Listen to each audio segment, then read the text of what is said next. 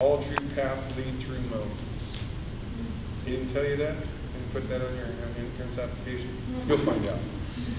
With a halo of smoke and flame behind, the forest fires at the Kali Yuga.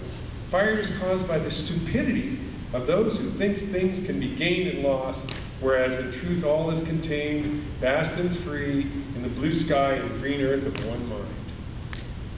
Round-bellied, to show his kind nature, and that the great earth has food enough for everyone who loves and trusts her.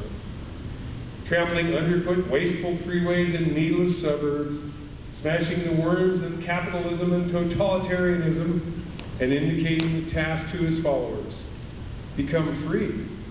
Become free of cars, houses, canned food, universities, shoes.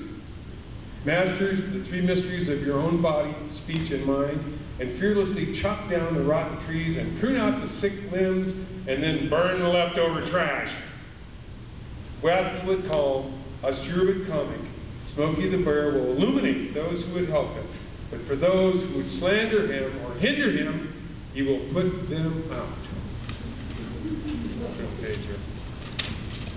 Thus, Smokey's great mantra I dedicate myself to the universal diamond, be this raging fury discoursed. And he will protect those who love woods and rivers, gods and animals, hobos and madmen, prisoners and sick people, musicians, playful women, and hopeful children. And if anyone is threatened by advertising or air pollution or the campus police, they should chant Smokey the Bear's spell. Drown their butts, crush their butts, toss them butts in the trash. And Smokey the Bear will surely appear to put the enemy out with his Vajra shovel. Now, those who recite this sutra and then try to put it in practice will accumulate merit as countless as the sands of Arizona and Nevada. Will help save the planet Earth from total oil slick. Will enter the age of harmony of men and nature. Will win the tender love and caresses of men, women, and beasts.